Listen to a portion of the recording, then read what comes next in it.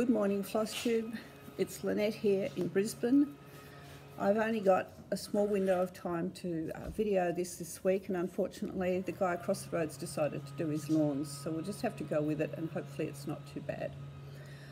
Um, first up, let's start with my mania, which was supposed to be bits and pieces of, of this. So I have been working down this side. Uh, I'll show you where I'm at. I've been working in here.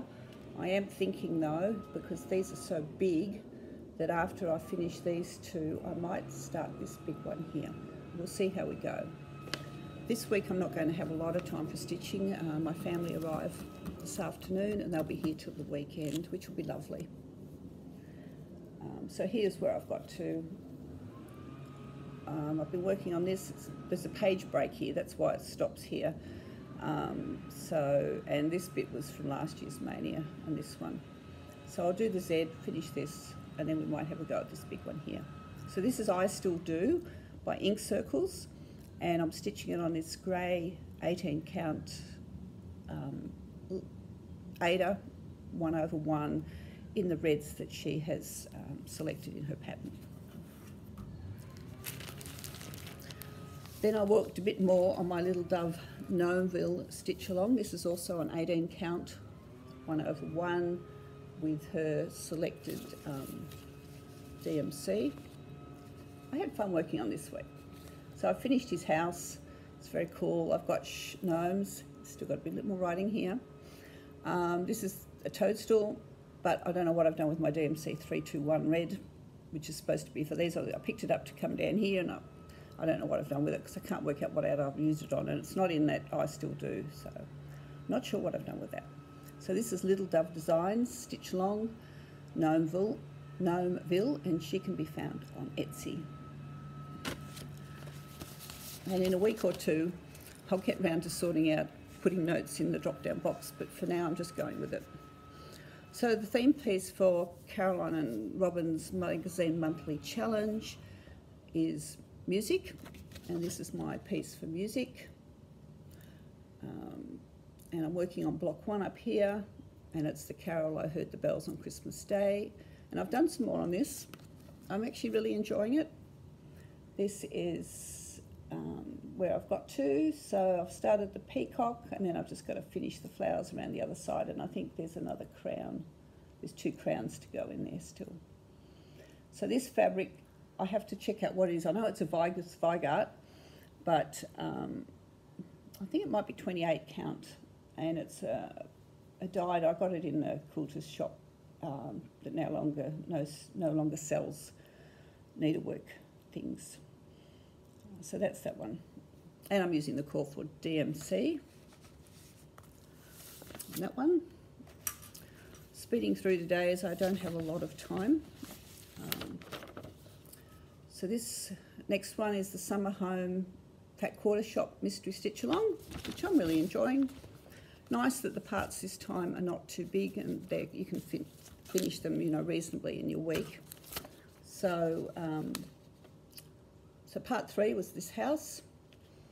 Uh, and it took me three hours. I actually timed it this week because Kimberly um, at the Fat Quarter Shop last week, she said she did this bit in an hour.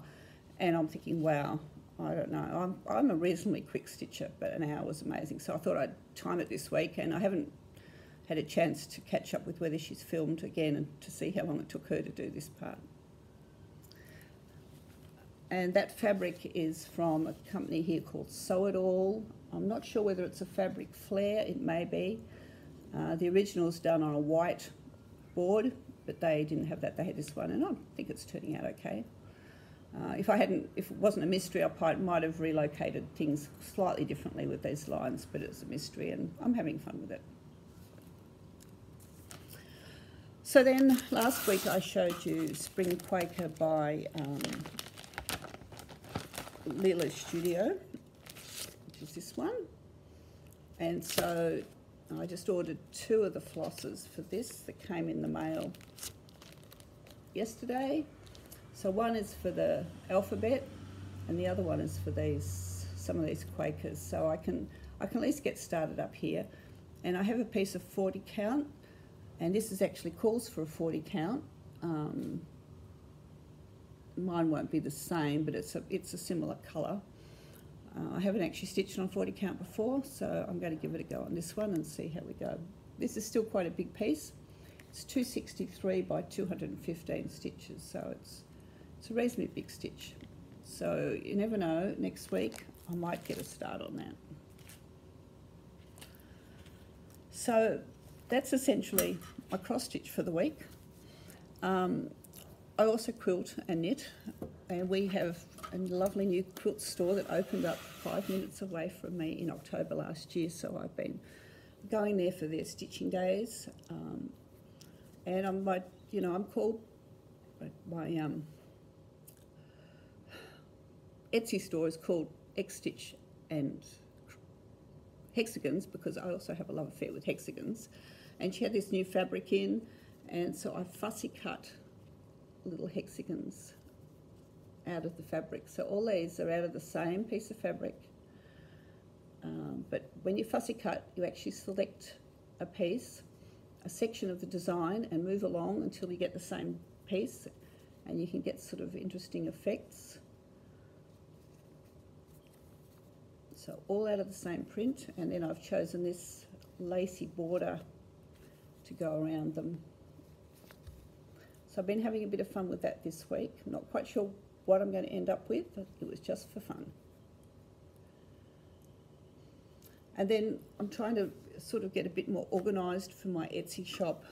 And I was going through my filing cabinet looking for some stuff or for a particular piece, and I came across this that I hadn't even traced it on. So I decided one of the stitching days at the shop I started stitching this. So I think the idea is it's to be a three-part Christmas.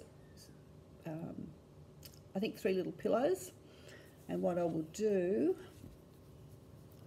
is I will put my hexagons around them like this and then make them into a little pillow that this will be appliqued to a backing and a bit of trim around it and I think that'd be really sweet. So that's piece started. Um, then I've done joy. and each of them will have a different hexagon border, but you know, you could choose your own fabrics, and that one you can't see. Um, let's see what I can do with this, make it a bit more. This is Hope. So I would actually like to get these finished by next time I make a video. We will see how we go. And I've also done a bit of knitting, but we won't worry about that. Um, now, a while ago, uh, let's see if I can work out when. I'll list back, at least back about 2016, maybe. Uh, not quite sure how long ago. Anyway, I had this idea. I get one of these books, and what I did is I, oops, there's a chart, but I've stuck in pictures. Uh, you see that one's actually been a finish That's what I got here. And the idea was that I would stick pictures in as I go along. Here's my Death by Cross Stitch. This is the first one in the book. And I'm a lot further down. I'm, I'm down here,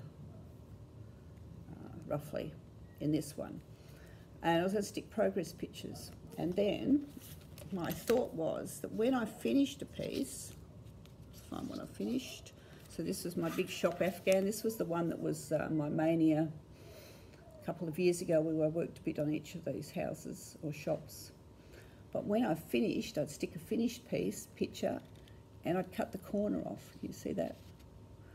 And you can just, actually you can see quite well there. See how there's these corners cut off? And so the idea was that when I finished everything in the book, all those corners would be cut off. Well, as you can see, since then, they're not all cut off. Um, oh, and up the back, I've got a few of my Heaven and Earth design pieces that I've bought but haven't started. So um, they're up the back. Anyway, so recently I thought, well, all my WIPs are actually not in this book. So I went through and I sorted all my WIPs out by this, what was in this book. And then I got another book. And in here, I put all my new WIPs. And you can see from this, no finishes in here yet. So I had to start a second book. And there's uh, 20 something in here. Uh, let me see what I can show something in here. Oh, there's Barbara Ana's 2020 SAL, Santa's Trips. Um, oh, Anne Morrison, I started that one. That was uh, 2020 as well.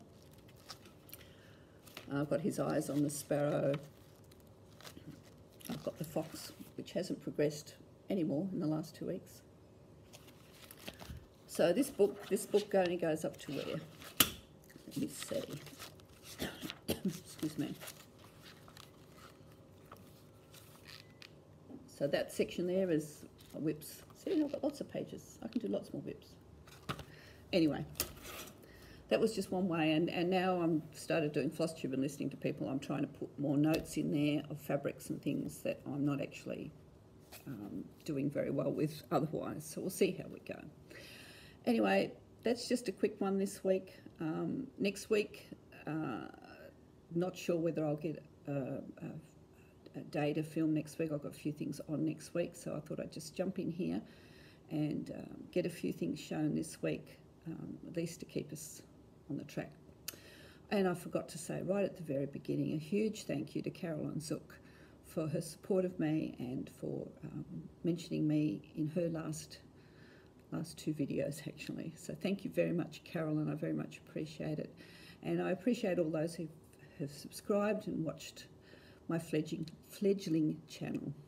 You all have a great week. Bye.